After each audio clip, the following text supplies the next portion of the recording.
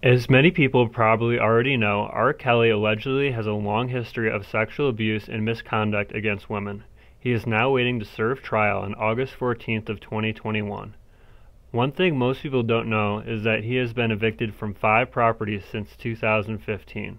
How does such a high-performing music artist go from roughly $100 million to being evicted by his landlord? And what was the purpose behind Mr. Kelly renting so many different properties over the years?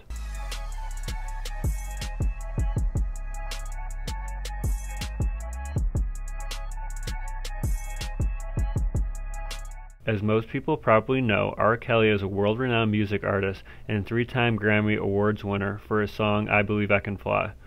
Over the course of 25 years in the music industry, Kelly has won a total of 110 awards from 274 nominations. At the peak of his career, R. Kelly had an estimated net worth of up to $100 million, but with this has had a long alleged criminal history of sexual abuse starting in the 1990s. In 2002, he was indicted on 13 counts of child pornography, but was acquitted of all charges in 2008. Most recently, in January of 2019, he was depicted in a widely viewed Lifetime docu-series titled Surviving R. Kelly. On July 11th of 2019, R. Kelly was arrested in Chicago and has been in custody ever since, waiting to appear in trial. His trial date has been postponed a significant amount of times revolving around the COVID-19 pandemic. Prior to his arrest, one of R. Kelly's biggest issues despite his large multi-million dollar income was money. R. Kelly blames this on multiple people having access to his account and because he is supposedly unable to read, not understanding documents he was signing. Despite this being true or not, one of his greatest money pits has to be the absurd amount of rent he pays for homes and studios. Not to mention all the fines and other fees R. Kelly pays for not following rental and renovation guidelines. It's amazing to see the amount of money R. Kelly paid for these homes over the years and unfathomable to see the crimes he allegedly committed during his occupancy at these properties. To start off, R. Kelly was evicted from a Chicago recording studio in May of 2015. Kelly was accused of using the studio located at 320 West Ohio Street for late night parties which spread through shared spaces throughout the building where guests would vomit, urinate, and defecate in the floor. These wild parties rained havoc on the building, disrupting other tenants and leaving restrooms in a mess. The trial for this incident took place at Cook County Circuit Court, with the plaintiff seeking $15,000 in rent. R. Kelly's Publishing Incorporated was ordered to vacate the premises on September 30th of 2015 and did not have to pay any of the money to the plaintiff. However, it does not appear that R. Kelly and his entourage left immediately. In addition, R. Kelly has also been accused on numerous occasions of brainwashing a number of young women and effectively treating them as sex slaves by several families and three former employees. They were instructed when to eat, bathe, sleep, and had to perform sexual acts on one another, which the singer then recorded. None of this has been proven yet.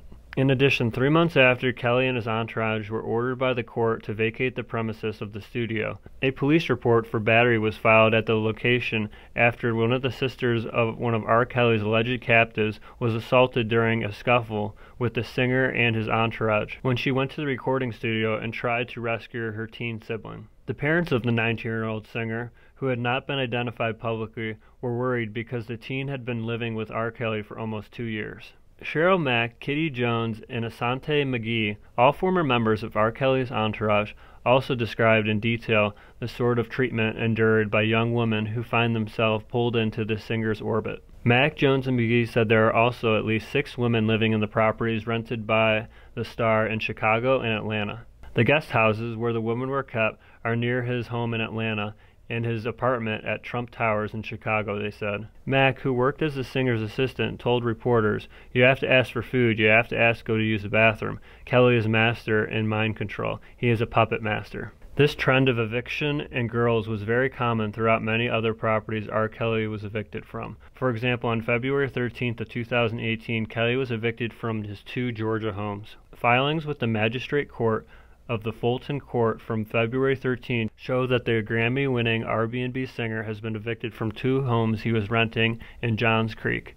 The documents show that Kelly owes SB Property Management Global LLC more than $31,000 in past due rent. Court filings show that Kelly paid $3,000 per month in rent at St. Devon Crossing and $11,542 per month at Old Homestead Trail. These homes are located just two miles apart, and Google Images shows a pool and a basketball court in the rear of one of the homes. These homes were allegedly used by R. Kelly to house a number of women who have been held captive in R. Kelly's sex cult. A few years ago, a woman told TMZ that R. Kelly had tried to lure her into a relationship when she was 20 years old after she was invited backstage at one of his concerts. The woman told TMZ that R. Kelly gave her his phone number and said he would help her with her acting and modeling career. She claims that Kelly invited her to his home in Atlanta, telling her to wear something sexy. During the visit, she was allegedly escorted into Kelly's bedroom, where he convinced her to pose for intimate photos. The woman told TMZ she was given $200 and she left and was instructed to use it to buy black lingerie, heels, and red lipstick for her next visit. She visited twice more and said that Kelly became more controlling and eventually guilted her into posing naked. She cut off contact after he sent her a one way plane ticket to be with him in LA. Another woman, Jocelyn Savage, at age 21, came forward after the report emerged from her parents claiming that she was being held captive by the singer. Her grandmother, Shirley Savage, told DailyMail.com that her granddaughter was so completely under the singer's spell that she did not visit her grandfather before he died from cancer earlier this summer and missed his funeral. But Jocelyn hit back at comments from her family saying her father had known exactly how she had ended up living with the singer two years ago. I'm happy where I'm at and the people I am around, and it is getting out of hand. Seriously, she said in a video released to TMZ. A friend has claimed the young woman's father, Timothy Savage, encouraged his daughter to live with R. Kelly after the family met the performer in a concert when she was 17. The source said Mr. Savage knew Jocelyn would live with Kelly for months, but did not know she would be there for years. R. Kelly's two girlfriends have been evicted from his Trump Tower home in Chicago. They were evicted because after the feds investigated the singer, they allegedly found more than 20 videos of him having sex with minors. The two girlfriends, one of which is Jocelyn Savage, said they were removed from the luxury residence after the 52 year old's arrest on Thursday night while walking his dog.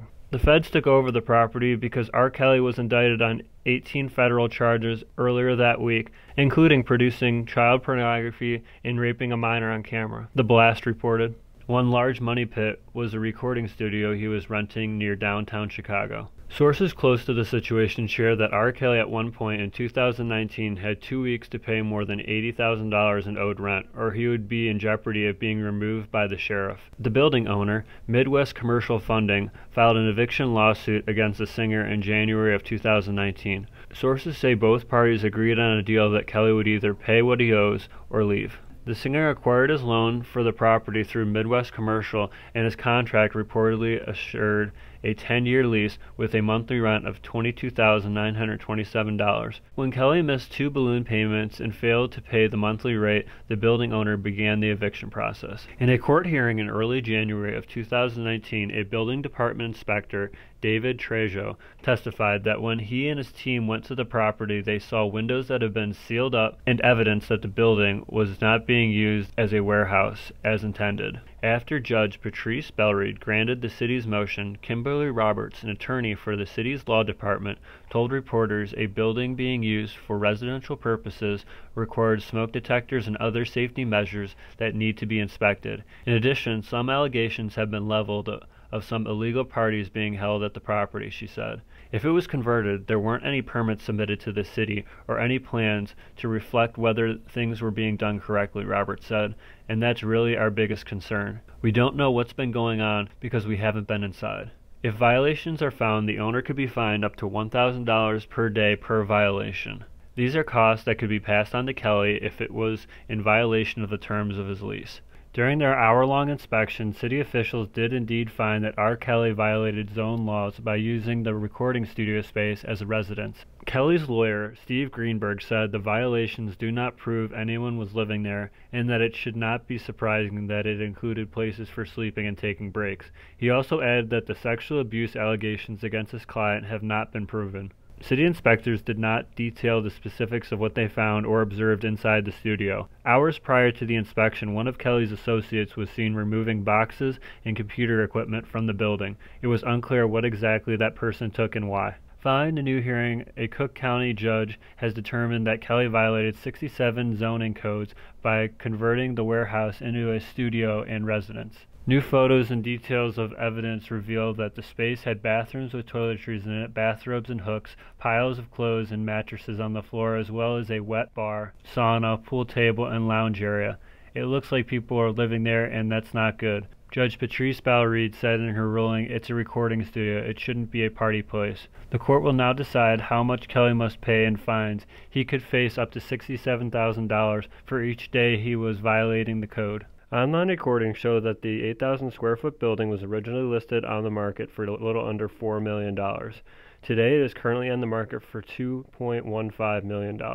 The real estate listing states the property is fully rented with a high profile tenant paying nearly $23,000 a month. The first floor has a fully built in recording studio, lounge, and full kitchen. The lease, made public as part of the eviction lawsuit, shows that Kelly was granted permission to modify the existing recording studio to meet his specific needs. He also was allowed, under the terms of his lease, to create an apartment type area on the second floor, according to the records. However, the lease specifically stated that Kelly was responsible for complying with all applied laws and building codes when making the alterations. Halfway through 2019, in July, the rent had still gone unpaid. At this point, a Cook County judge had ordered Sony to give all the money in R. Kelly's royalty account, more than $1.5 million, to the singer's former landlord to cover past due rent. On top of this, in 2019, Kelly was sued by a woman who alleged she was sexually abused by the singer.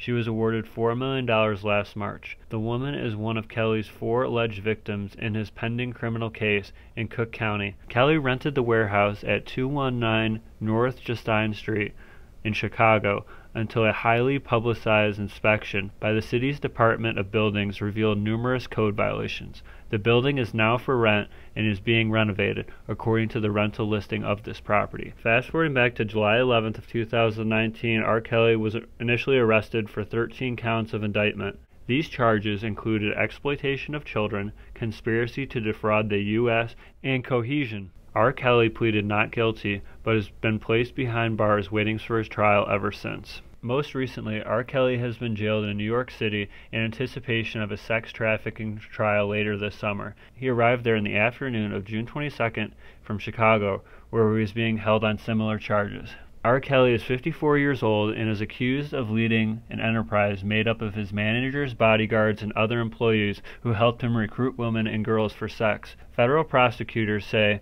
the group selected victims at concerts and other venues and arranged for them to travel to see Kelly. Kelly has pleaded not guilty to all charges and has requested bail a significant amount of time. Due to him being a high flight risk, he has been denied bail all times. Today, R. Kelly's new trial date is set for September 13th of 2021. According to the U.S. Attorney's Office of the Northern District of Illinois, as of April 4, 2021, Kelly is charged with one count of conspiracy to receiving child pornography, two counts of receiving child pornography, four counts of producing child pornography, five counts of enticement of a minor to engage in criminal sexual activity, and one count of conspiracy of obstruction of justice. As R. Kelly prepares for his trial, he has been granted access to speak with his lawyers seven days a week as they visit him at the Metropolitan Detention Center in Brooklyn. Thanks for watching. Subscribe to Holton Wise TV for more financial information, education, and entertainment.